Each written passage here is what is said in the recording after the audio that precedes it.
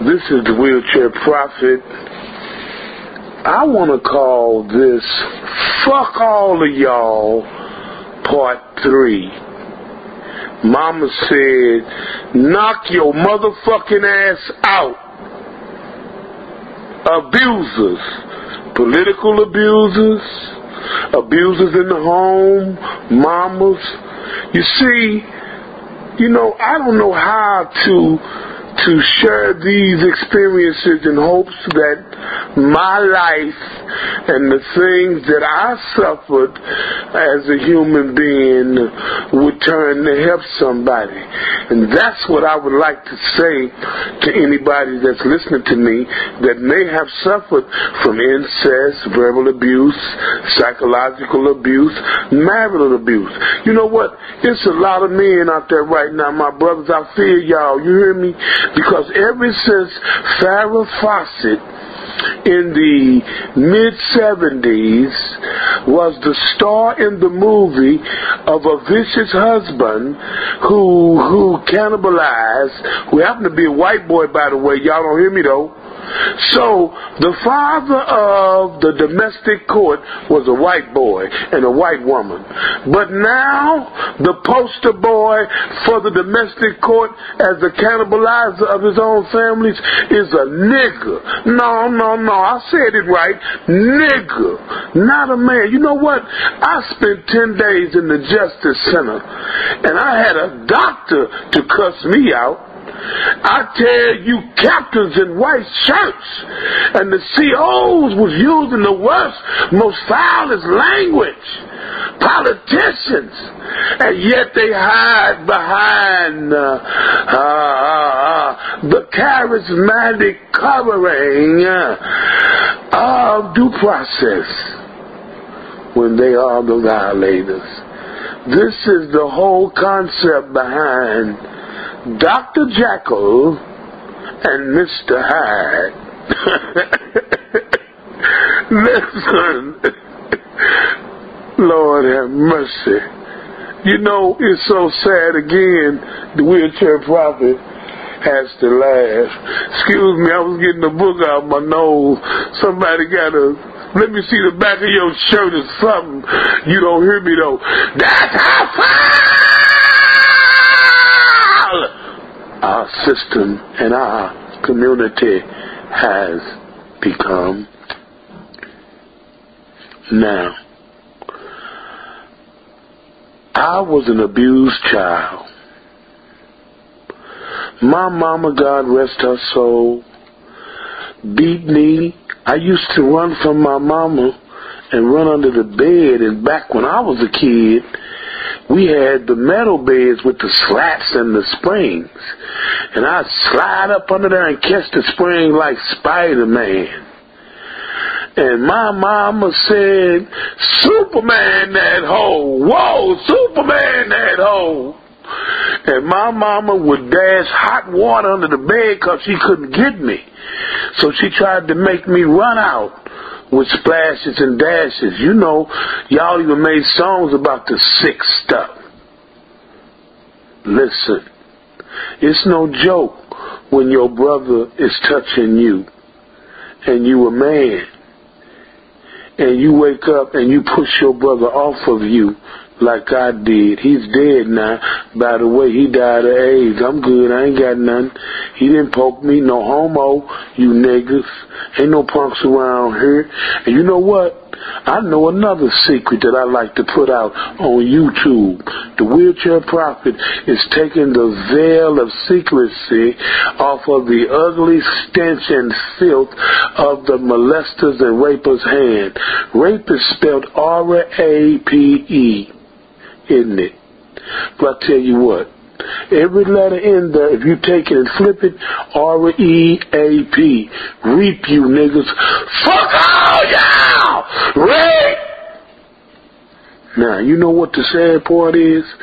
Some of our black males go to the penitentiary and they go up in there and get fucked. I mean, butt fucked. And some of them be made to love it. Come home on the low. Down low, brothers. And some of them get disability. I know. I volunteered at the Mental Health Association. And some of them guys that did 14 and 15 years in prison, they was on disability. They fucked their brains out. I'm talking raw to you. Parental advisory. Change the channel, send your kids home. And Bishop Eddie Long, I know this is too hard for your holy ears to hear, but it ain't too hard for your hard dick to handle. Now is it? oh, y'all don't like that real nasty truth. I'm bringing it stinking to the high heavens. You hear me? Yes, sir. Yes, sir. Yes, sir. Listen, I tell you what. Which one of you men out there right now, any one of you bishops, Bishop Holloway, Bishop Fakes, I mean Jakes, Paula White, which one of you men out there, I ain't mean Paula White, you ain't no man, even though you look like a woman, but I don't know what you is, Paula White. That's what it is. You indescribable and unimaginable. You look like you're trying to get married again. You was married to a homosexual. Your husband, Paul White, hello, or Ronald White, whatever his name is. You know he was sweet. Talking about y'all still got a relationship. Man, the gardener been handling the business in the bedroom. Paula, tell everybody about your gardener and your pool man. you hear me? Now, what were we talking about? I think I forgot. You know what? It's just time for us to just get rid and kill all of the abusers. When I say kill them, listen, not murder them. Cease and desist legally. Tighten the laws. Protect our children. Be proactive. It's gotta stop. My mom abused me. I was beat with knives, stitching cords. She used to whoop me so bad, y'all. I would catch the stitching cord. Y'all, some of y'all, some of you 60s babies, y'all know. You 70 babies, y'all crack babies. Y'all crack babies and teas and blue babies. But I tell you what, you crack babies out the 80s, Lord Jesus. Late 70s and 80 babies, they coming to the funerals. They get collateral damage on grandmama and them. We had some people down here in St. Louis, y'all, came to the funeral. Listen, listen. Mom would beat me with that extension cord, and I would catch it just to catch some air. And then she would take a butcher knife and tap my knuckles until they would split right at the perfect tip until I let it go.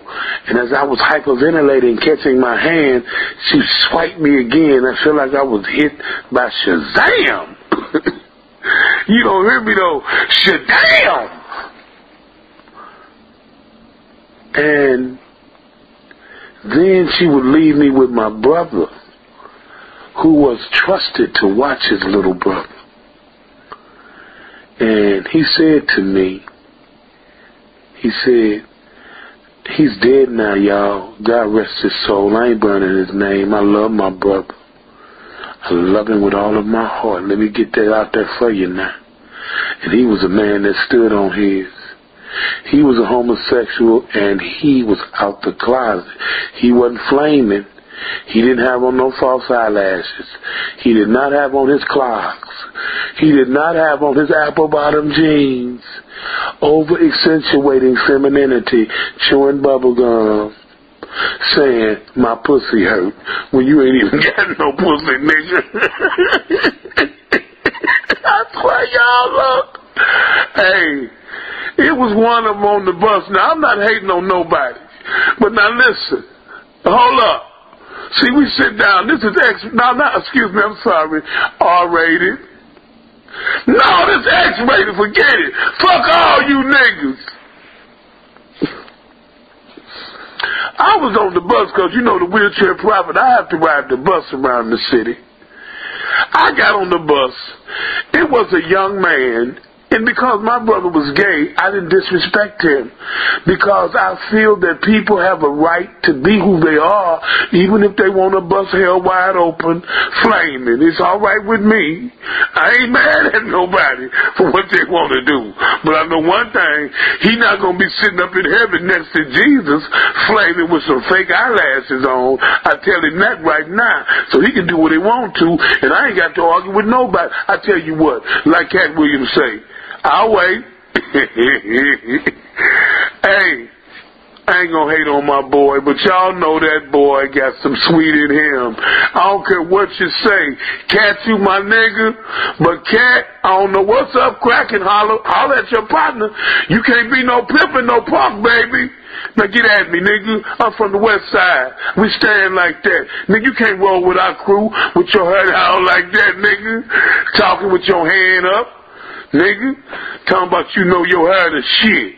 See, this is what's wrong with you 80s babies. See, see, y'all some crack babies, man. Y'all need to go on with all that. 28 years old, that's an 80s baby. What? 28? 28? 28? He about 82. 1982. Crack baby. Fucking our kids in high school. Crack babies saying I don't give a fuck on my mama. Crack babies pulling straps on 11 and 12 years old. Crack babies. Y'all need to go with that. Crack babies want to bully the whole block. Crack babies will never come out and walk in the street like a man like Matt Dillon. Crack babies shooting you in the back of your head with a ski mask on. Crack babies trying to get smart now, using a revolver, talking about you taking the shells with you. Crack babies. So, I suffered through my brother saying, Let's play Superman. See, this how you this how you molesters do. You dirty niggas, I'm putting the cover off for y'all. Fuck you niggas tonight. And fuck you for eternity. And fuck is congruently perfect with the word church. And in the dispensation of no mercy, which will be the ninth dispensation of Revelations 20 and 10 and Revelations 20 and verse 1 and 2, I like to call it 2012 and year 2000 and 2010, Satan getting his ass whooped. Read it. Quit Googling, Facebooking, walling. Open your Bible. Read.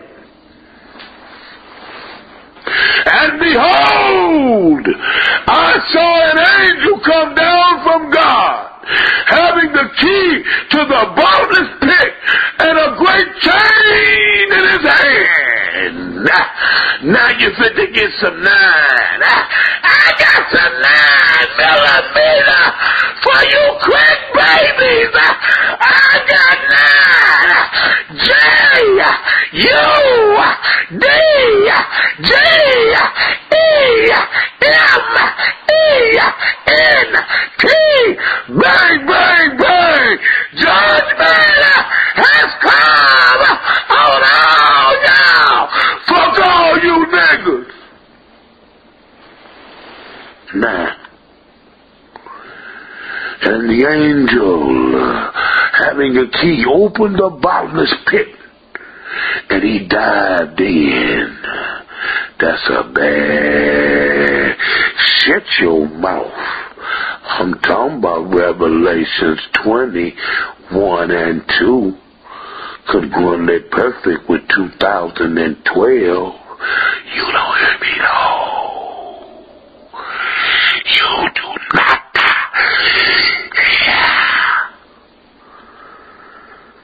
And he laid hands on him, laid hold on him. You know, I love that movie, The Hawk. Hawk say, me know who to smash now.